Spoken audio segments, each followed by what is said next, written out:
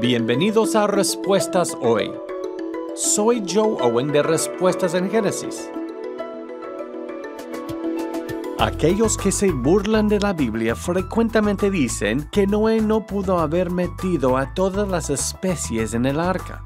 Pero la escritura dice que Noé tomó dos de cada tipo de animal, no especie. Y la razón por la cual que dice especie en la Reina Valera es porque tomó uso de la Vulgata latina. Sin embargo, no fue hasta 200 años después cuando Carl Linnaeus nos dio nuestra clasificación moderna. Por lo tanto, la palabra en hebrea originalmente escrita en Génesis 6 y en Génesis 1, min, se debe traducir hoy a nivel de familia en el sistema de clasificación.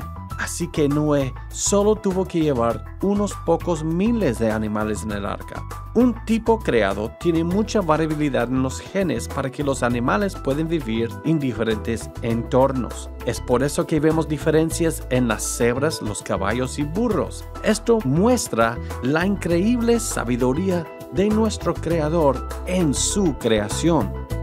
Si quieres aprender más sobre nuestros orígenes, el Génesis, la creación y el Evangelio, visita nuestra página web respuestasengenesis.org. Respuestasengenesis.org.